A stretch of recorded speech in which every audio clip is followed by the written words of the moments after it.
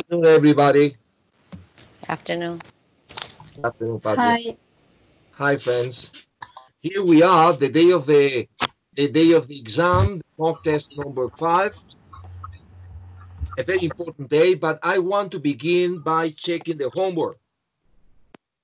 You know that the homework is uh, a use of English exercise part four that you have in a piece of paper I gave you last class. So let's check the homework.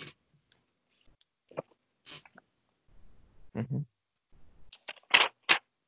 25. The first exercise is 25. There will be no change to our plans despite the likelihood of rain. And you have to use is. We have decided not to change our plans even and listen to the answer because I have to use the time rapidly since we have an exam.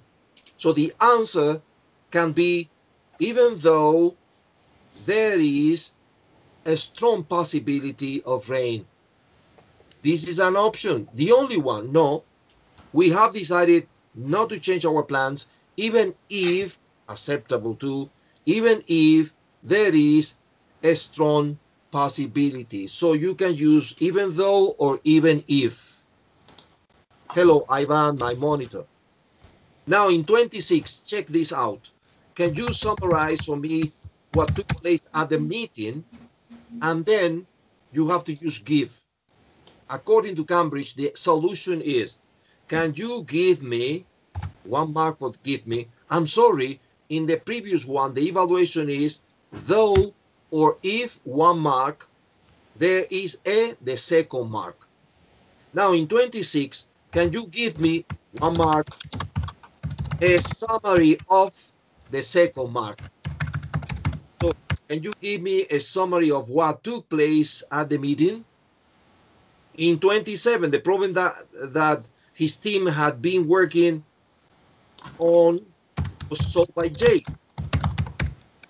And the answer is Jake came up with, right, with one mark for this preposition, a solution to the second mark. It can be a solution to, it can be the solution to, it can be a solution for, or the solution for. So observe how many options, right? And they are all acceptable. Yes. Now let's go to 28.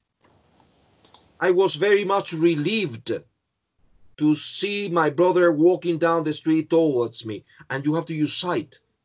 I felt enormous relief, one mark, at the sight of the second mark. I repeat, I felt enormous relief at the sight of my brother walking down the street towards me. 29. Maria immediately accepted the offer of a place at the country stop university, logically. And you have to use hesitation.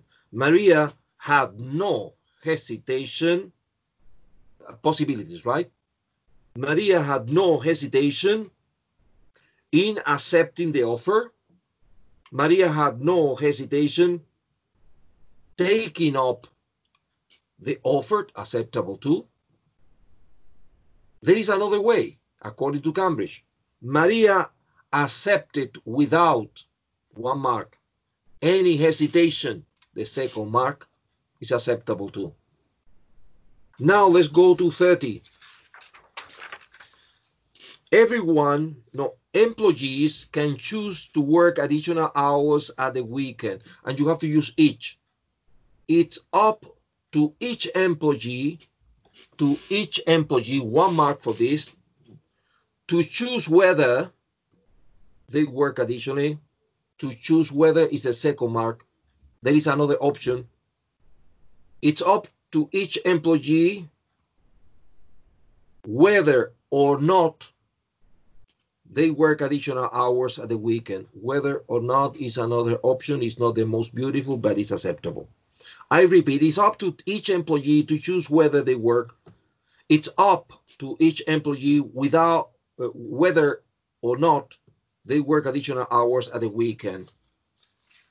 That was the homework. And now let's begin our exam. Well, the exam is made up of two parts, as all exams, you know. The reading comprehension and the use of English. Sorry, it's a listening comprehension and the use of English. So let's begin with listening comprehension. I'm going to send the listening exam to your WhatsApp group because I think it's, it's better to see, better to read. I'm going to send it to you. Give me a second.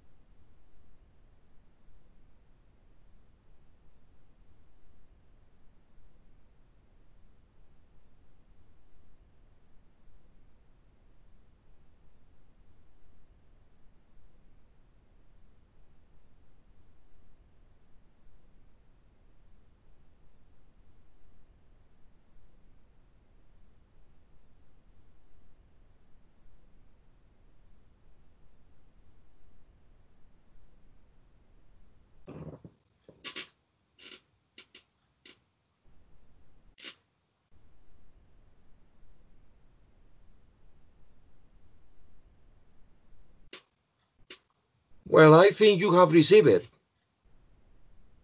The reading comprehension part one.